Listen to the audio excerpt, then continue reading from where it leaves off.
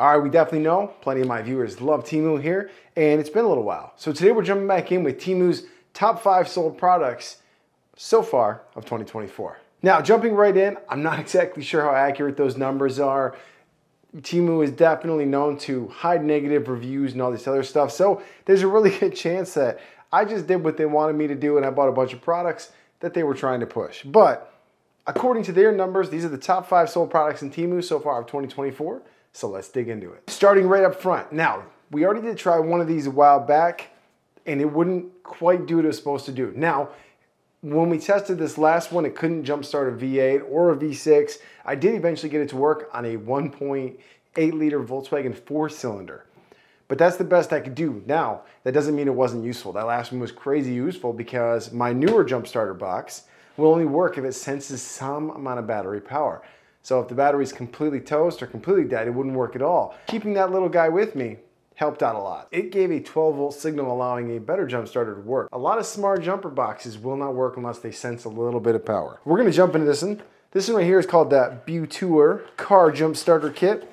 We'll make sure the prices are up here. You guys know how we do it. And hopefully this one's a little stronger than the last one. I got a couple dead batteries outside, so don't worry. We're gonna get out there and we're gonna check it out. So right here in the box, get yourself an owner's manual. She's pretty thick. We're not gonna look too far into that. Okay, this is interesting already. So this connector here, you have a two-prong connector that slides into the jumper box. This is gonna allow you to connect in your clamps. Now, interesting thing, my newer jumper box has a very similar connection set. On the back here, it's got a couple of little, little tidbits of information telling you exactly what the lights that are on mean. And then inside, we also have a USB charging cable for the box. And it is, heck yeah, USB Type-C. Love to see that. All right, jumping right into the actual unit itself. I mean, it's got a decent look to it. Red, black, got an on button here. Shows your battery level here. So basically idea, oh, it looks like the light just kind of comes right on already. So basic idea, looks like we're gonna unfold this. Take your prongs, match them up. One is circle, one is not. In you go. And then you have these lights here. You got this little light that beeps on the back. You're gonna get your function test here for what the lights mean. Now, aside from that, cool feature of these, they can always be used as a battery bank too. You'll notice you have USB-C that's gonna be in, and then USB-A is usually out, along with your flashlight and this nice rubber gasket we have covering the whole thing. So let's go ahead and check this thing out, see how well it works. Welcome to my junky Land Rover. I bought this at an auction a while back, and we're gonna use it for our tests today. Test number one. Sorry about all the traffic and noise, but this is what we got. We got ourselves a beep. Oh, gross. All right, so we are on a project vehicle number two. With the Land Rover, we had no luck. If you look closely, you will see why this is a project vehicle. This is actually my plow truck.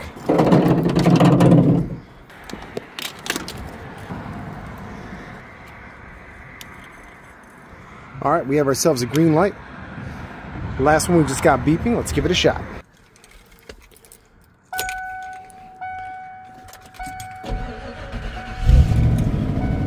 Would you look at that?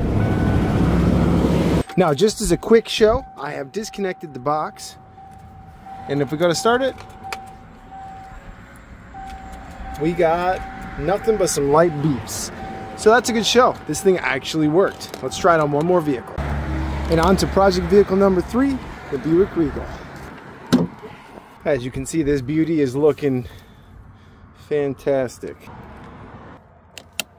I'm not sure if it's working. Let's give it a shot. This one, the battery is dead in the key fob, so we go ahead and stick this down here by the reader, and we appear to have nothing. Okay, after giving the front unit a reset, not quite enough.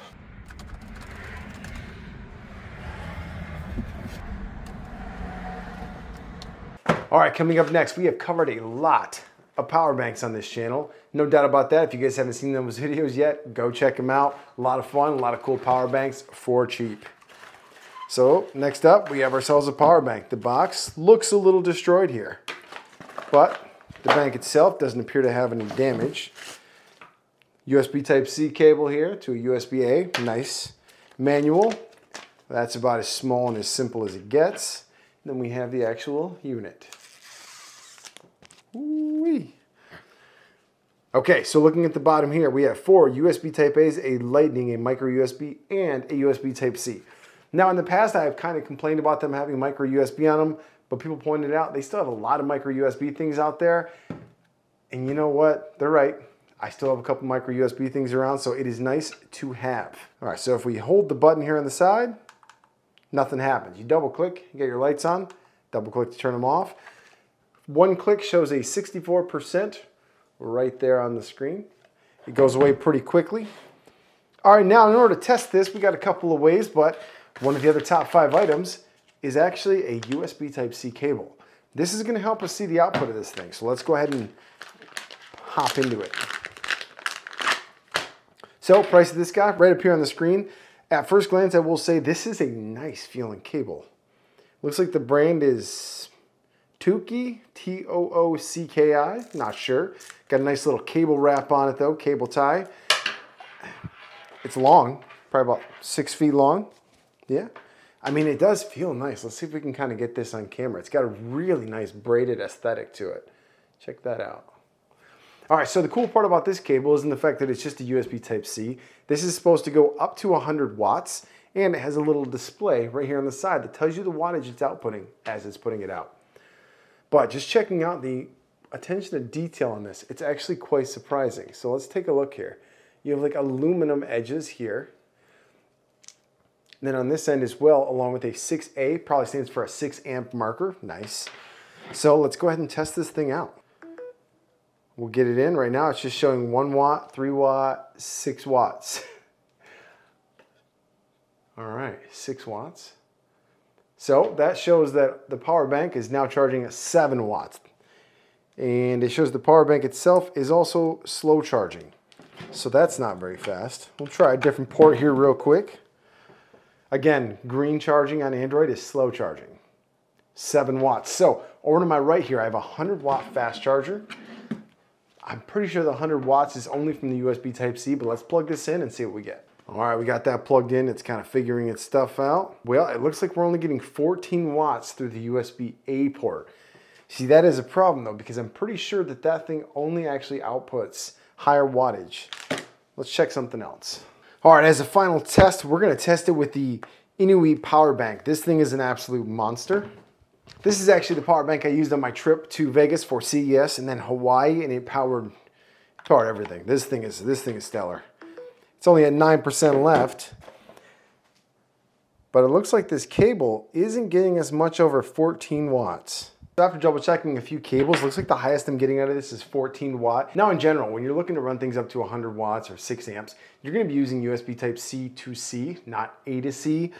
Still, pretty nice cable. I mean, you know, kind of gimmicky, but in the end, it does feel like a super nice cable.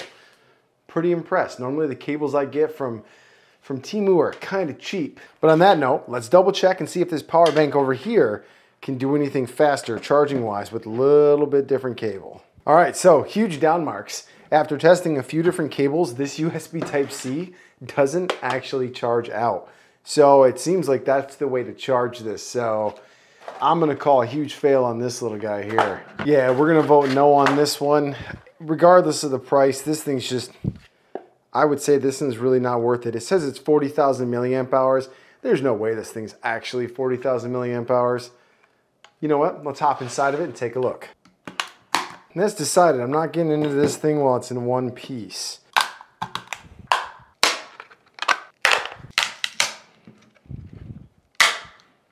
Well, if you have a little more knowledge than me on stuff like this, here's the inside. Now, this is not what I expected. Most of these cheap battery banks use the ever popular 18650.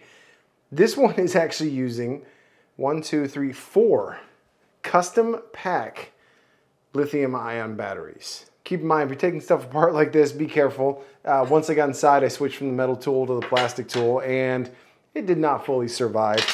But I was just really curious. So you got a small board inside of there. You have your little, you got your little power readout here. There's not really a ton going on in there. I do see that the USB-C port is connected and soldered in right down in here, but Again, so maybe the capacity on this is a little higher than I thought. It does have quite a bit of weight to it.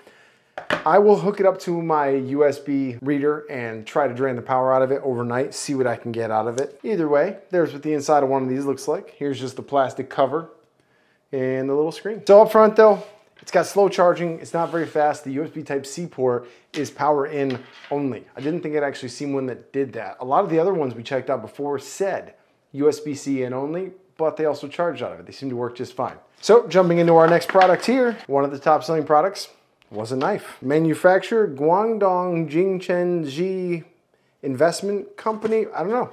Knife.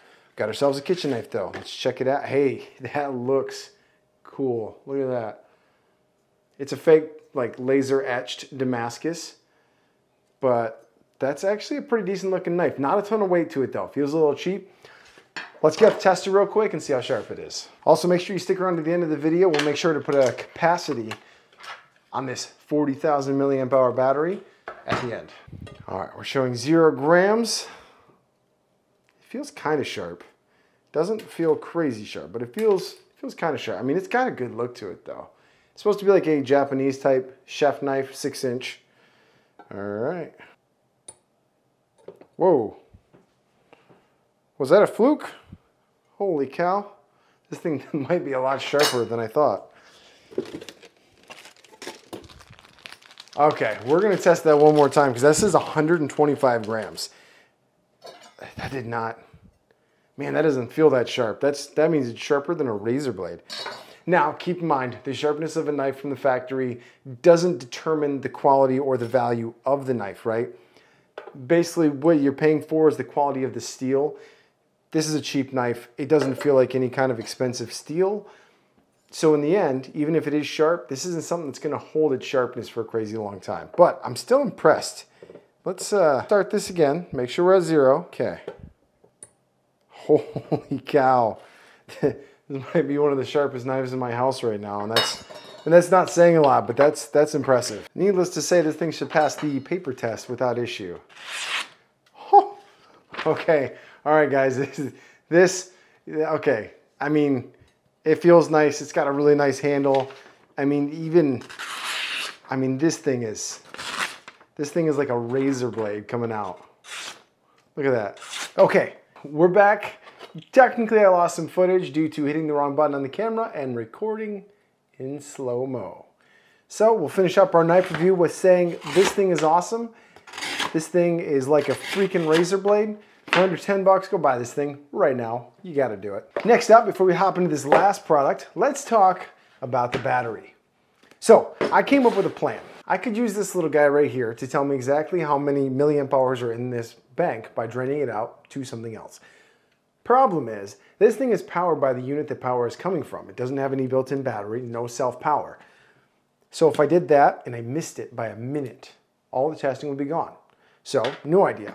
Well, I know the INIU power bank is 27,000 milliamp hours, is extremely reliable, it's a well-known brand, and it's quality, right? So I drained this thing to zero. Then I charged the Temu power bank to 100%. Then I took this one, plugged it into this one until this guy reached zero. Once this one reached zero, I had, let's take a peek, 42%. So 42% of 27,000, we're looking at right around 12,000 milliamp hours. Not tiny, not horrible, but for the size, the weight, and the claim that it's 40,000 milliamp hours, and considering this thing's almost 50 bucks. I have seen this one right here, 100 watt, fast charging, 27,000 milliamp battery bank. I've seen this thing on sale for like 60 to $70. So this, this ain't it. It charges way too slow. The USB-C port is in only, which, why? It's all on the same board. It wouldn't be very complicated to make it both. It completely lies about its overall capacity. It's heavy, it's bulky, and it's an absolute no for me. You guys can let me know what you think down below, but I, I have a feeling you're gonna agree with me on this one. Setting those aside, full transparency, like I said, lost a bunch of footage. I clicked the wrong button. I recorded in slow-mo with no audio. That went really well. So we're gonna unbox this again. First time for you guys, second time for me. So this, a $12 solar panel from Temu. This is also one of the top five most sold items so far 2024. Like a lot of our previous solar panels, it is the older blue technology. You can kind of see the color and the hue there. On the back, very simple. You have a 5 volt DC inverter with two USB ports. Along with that, you also have two carabiner clips and two suction cups in case you want to hook it to a window. Although with solar panels, vertical is not usually the way to go. You want about a 45 degree angle towards the sun for best power consumption. So let's get outside, let's plug it in, let's test a few things out and see how it goes. All right, let's get this angle correctly. All right, total watts, one. We're pulling one watt. All right, we are now charging the phone and it looks like we're ringing in about two watts. I'm trying to angle this a little bit better, but this solar panel is not quite doing it. The last one we had was close to five or six watts. And we can see that one is measuring one. I thought that was an error, so I hooked up this meter here. I'm trying to move. You can see right here, I'm trying to hold it at the right angle towards the sun.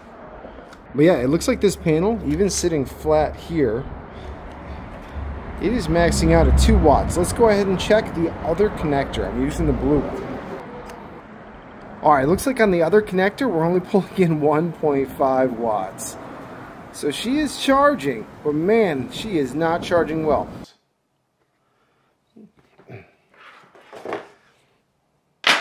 Okay, we tested a whole bunch of cables.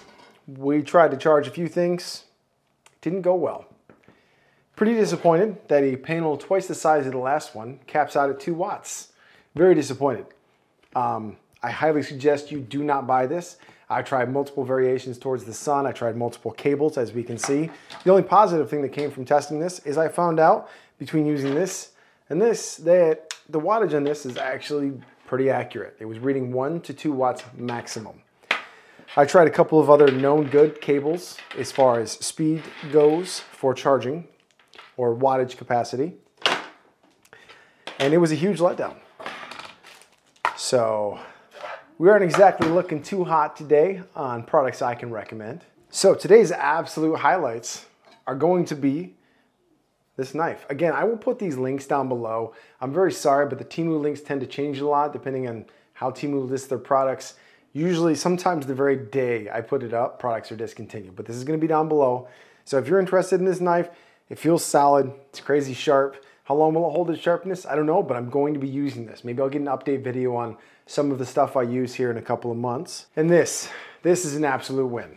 This started up a 1995 Ford F-150 with a 5.0 V8 that had 8 to 9 volts in the battery, and this thing fired it up like an absolute champ. It struggled and failed against another V8 that had a completely dead 0 volt battery.